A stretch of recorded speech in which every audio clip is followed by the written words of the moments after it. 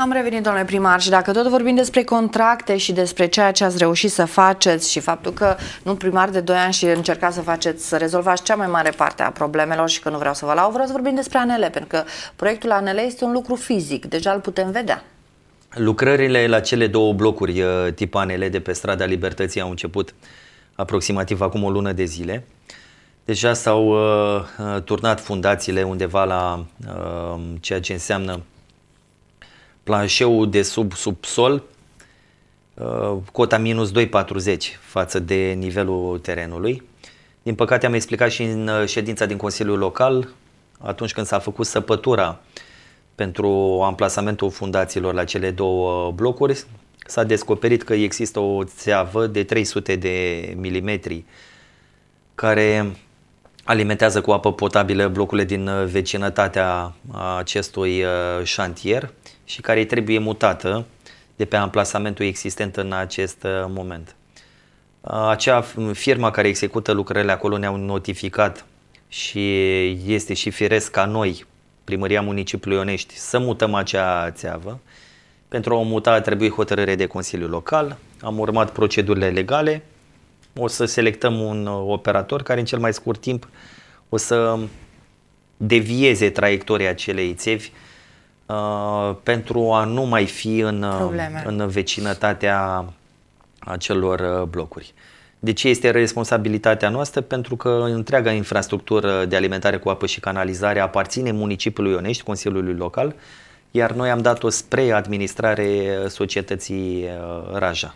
Ei cade în sarcină să modernizeze infrastructura rutieră pe proiectele care le-au, le-au prezentat și pe la dumneavoastră pe fonduri europene. Da, într-adevăr. Uh, lucruri bune se întâmplă în cadrul companiei de apă și deja se simt, să zicem, aceste lucruri. Uh, vreau să vorbim despre campanie de adopție de câini. Am văzut recent, uh, am trecut dintr la un subiect la altul, am văzut recent postat pe rețea de socializare un afiș foarte interesant. Prezența câinilor fără stăpân pe raza municipiului Ionești este o problemă prezentă și este destul de sensibilă. Numărul câinilor fără stăpân în municipiul s-a, crește exponențial. S-a mulțit într-un număr uh, foarte mare și um, sunt situații în care pun în pericol atât viața copiilor cât și adulților din municipiul Se strâng acele haite care, uh, știți, câinii haite sunt mult mai periculoși decât dacă umblă singuri. Avem aici o strategie prin care, pe de o parte, încercăm să capturăm cât mai mulți câini și să-i, uh, să-i ducem în adăpostul câinilor fără stăpân ce se află la ieșire din Onești către Bacău, în uh, vecinătatea uh, oborului săptămânal. Capacitatea aceea a adăpostului se apropie de... Câți câini uh, sunt? Estimativ, așa, că peste numărul 400, fluctuează. Peste 400 de mulți, câini. Mulți. Capacitatea ajunge, să zic, la limită în curând și atunci venim complementar cu această campanie de adopție a câinilor fără stăpân de la adăpostul pe care îl avem. În acest sens ne pregătim. Campanie ce se va desfășura în perioada 12-13 mai, două zile și invităm toți oneștenii ce iubesc animale să vină să adopte câine, dar să le îngrijească, să nu-i dea drumul înapoi pe stradă.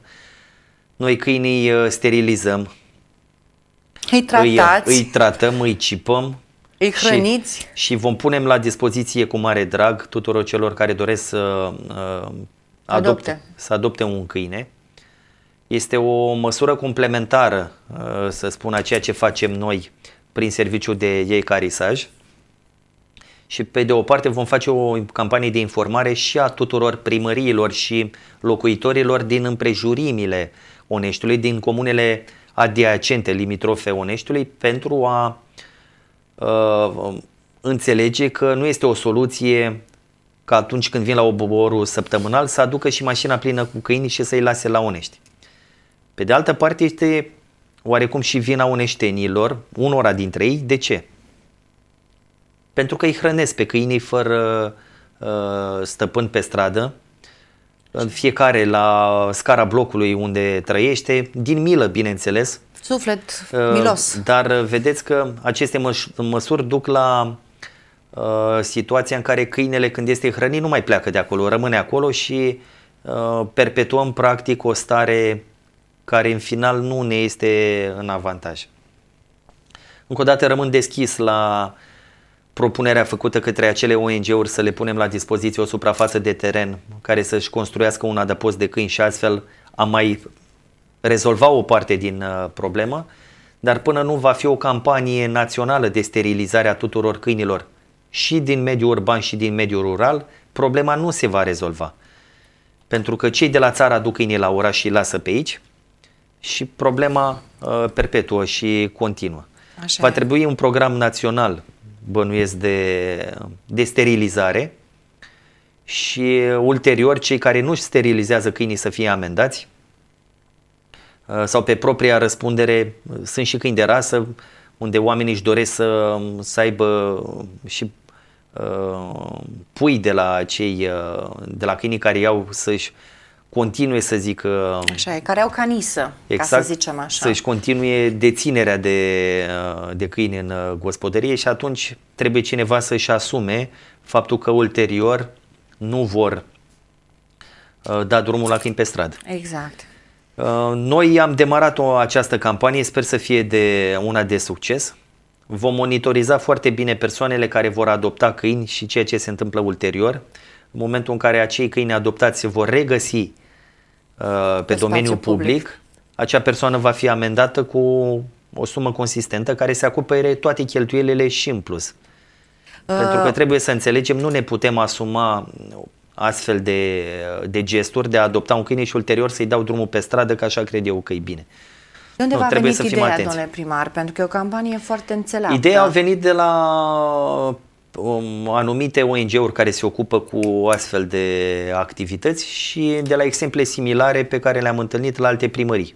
Nu am descoperit eu această, să zic, soluție, soluție dar este una care poate fi, poate fi bună.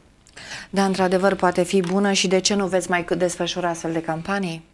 Haideți să vedem cum începem, uh, cum se finalizează prima campanie, care sunt efectele care vor uh, reieși după impactul, ce... Probabil. Și impactul, da. Și ulterior vom analiza. Nu mă pot pronunța de pe acum dacă vom continua sau nu.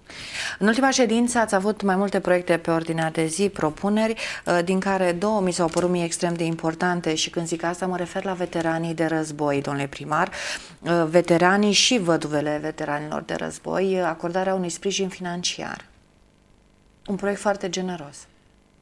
Și aici este vorba de, de proiecte care au mai fost și anii trecuți implementate în municipiul Onești.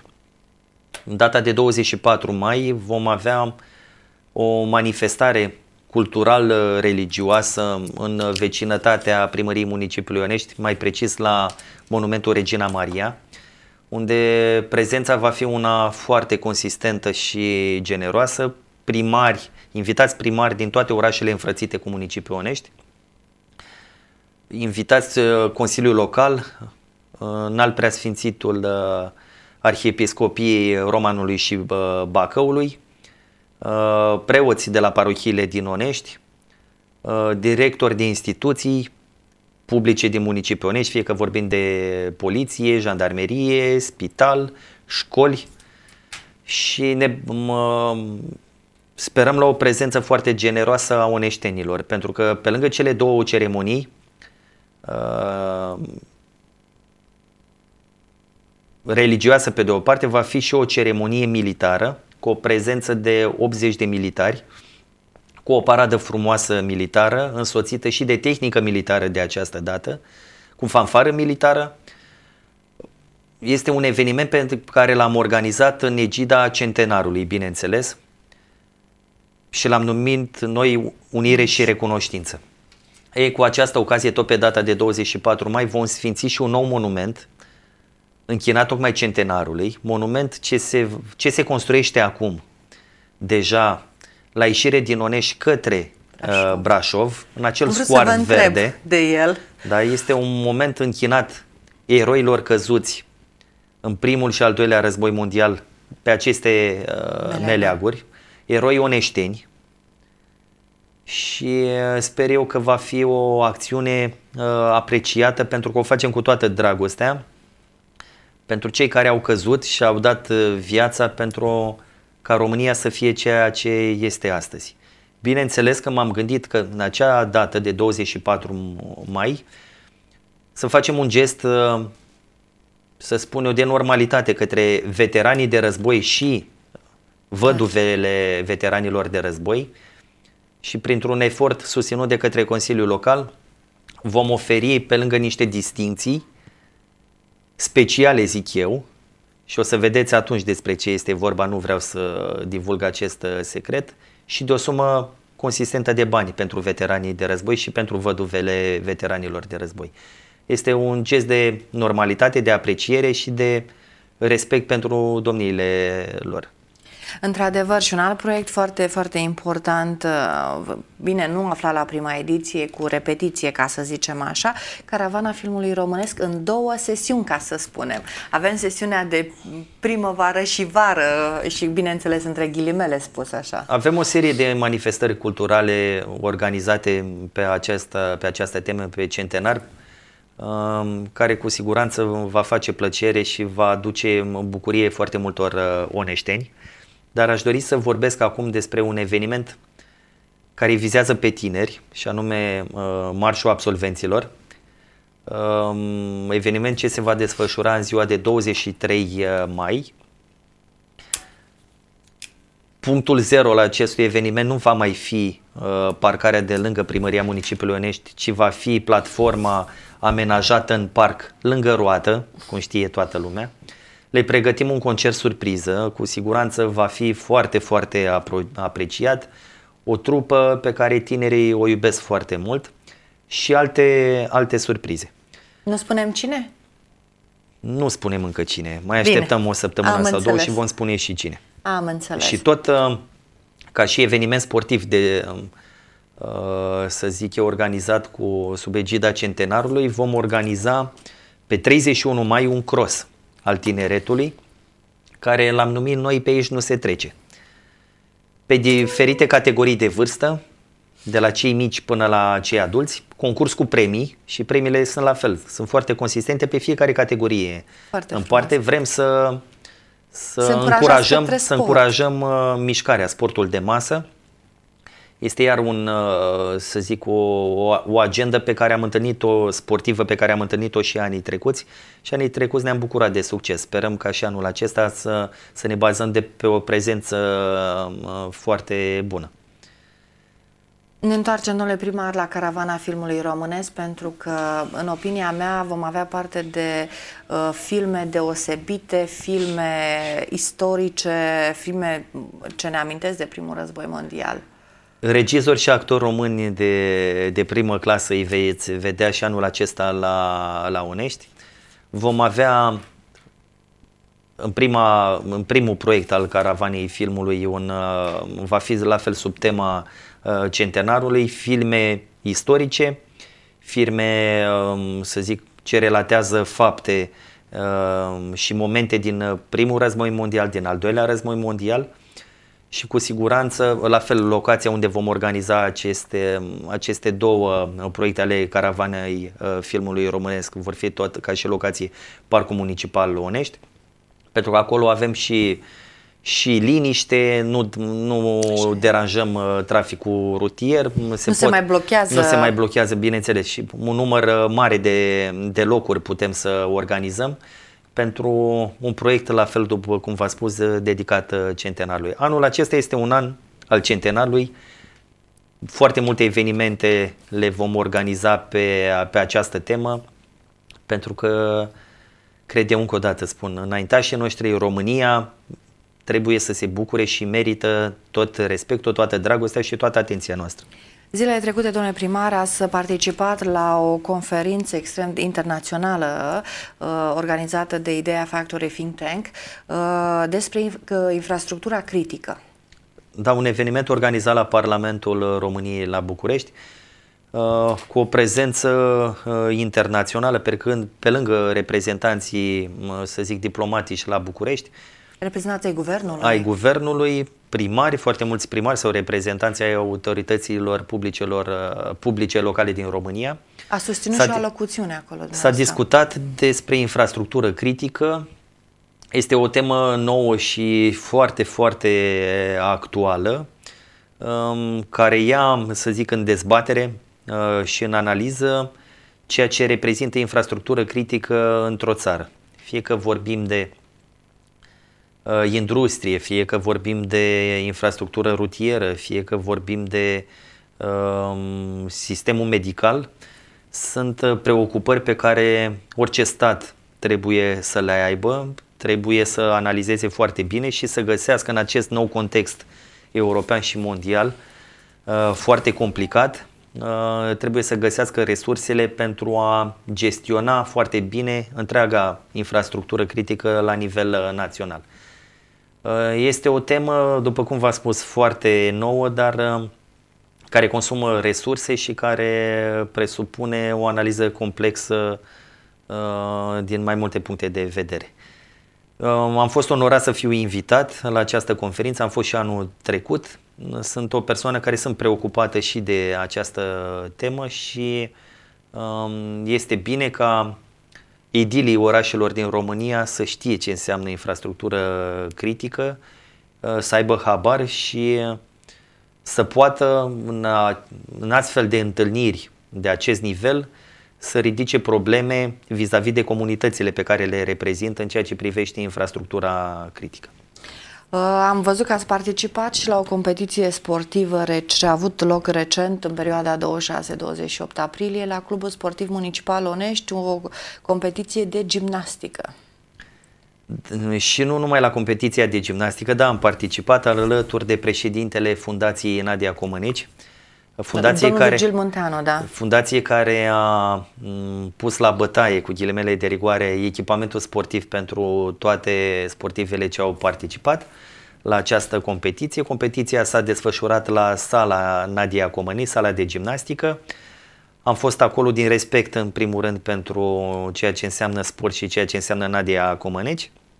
Uh, și al, al altăieri, sâmbătă, am fost prezent la o altă competiție sportivă intitulată Gimnaziada, o competiție de handbal organizată în primul rând de domnul Zburan, școala generală numărul 1, um, șase școli uh, din patru județe au participat la această competiție și a fost una încununată de succes. Mă bucur să văd că tinerii sunt preocupați de mișcare și de sport. O ultimă pe final de emisiune, domnule primar, am pregătit o întrebare. Știu că au fost foarte multe solicitări, știu că le-ați luat în considerare pe cele mai multe, dar în funcție de uh, limita mobilierului disponibil veți face bănci în Onești, bănci în parc, bănci în Onești. Chiar uh, ieri am uh, am făcut o vizită prin parcul municipal, am montat uh, coșuri de gunoi iarăși, s-au mai iarăși reparat s-au mai băncile, dar altele probabil e o problemă. Adică e un flux continuu între achiziții, bani și montare și uh, ceea ce se strică. Deteriorare. Situația în parcul municipal s-a schimbat în bine uh, oarecum și anume știți și dumneavoastră și poliția și jandarmeria patrulează și ziua și noaptea. S-au mai identificat persoane care au uh, distrus acele, vandalizat mobilier. acel mobilier urban și suntem pe drumul cel bun. Încet, încet, cu pași mărunți, veți mai monta bănci în oraș? Atunci când vor fi Uh, când vor fi solicitări de la asociațiile de proprietari sau de la cetățeni și vom și noi considerăm că, că trebuie montate în anumite locații, vom, uh, vom monta bănci. Oricum suntem într-o perioadă în care facem achiziții publice pe uh, locuri de joacă, aparate de fitness și mobilier urban. Mi-am propus în acest an, în primul și în primul rând, să dotăm cu locuri de joacă grădinițele și creșele din municipiul Onești.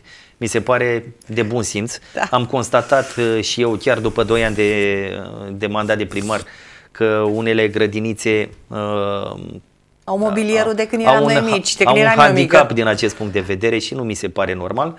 Și ulterior vom mai dezvolta și în alte locații uh, incinte din municipiul Onești, după ce satisfacem această nevoie a grădinițelor și creșelor din municipiul Onești. Într-adevăr, știți cum e, în doi ani de mandat spuneți noastră, dar sunt multe, prioritățile sunt pe toate planurile, dacă e să le luăm și le da, luați și problema fiecăruia este cea mai importantă pentru, pentru fiecare oneștean în parte. Stăteam și uh, mă uitam pe, după ce am făcut postarea cu câinii comunitari și cu acest proiect de... Ofere a doua șansă. Ofere a doua șansă unui câine, un proiect de adopție. După foarte multe comentarii, uh, a existat și un comentariu de genul Domne, dar cu pisicile ce facem din Onești, că sunt și foarte multe pisici. E, după ce terminăm cu câinii și cu pisicile o să fie și altceva și tot la fel. Uh, administrația publică locală este un, uh, să zic, este la foc continuu. Niciodată termi- uh, problemele nu se termină. Apar altele noi și noi pe, pe, Un flux, flux pe continuu. vreme ce rezolve anumite probleme apar altele și este firesc să fie așa de altfel. Adică cine nu înțelege administrație o să-i fie greu să înțeleagă că problemele sunt continue pentru că este firesc. În viața unei comunități apar noi probleme, trebuie să rezolvi problemele care, care există și persistă de o perioadă lungă de timp și să faci față unor noi uh, provocări. Domnule primare, vă mulțumesc pentru prezența în emisiune și vă mai așteptăm pe la noi. Vă mulțumesc și eu foarte mult pentru invitații și voi fi prezent. Dragi prieteni, aceasta a fost emisiunea 24 de ore. Nu uitați că în fiecare zi, de luni până vineri, de la ora 17, sunt în fața dumneavoastră cu invitatul meu. Fiți cu ochii pe noi.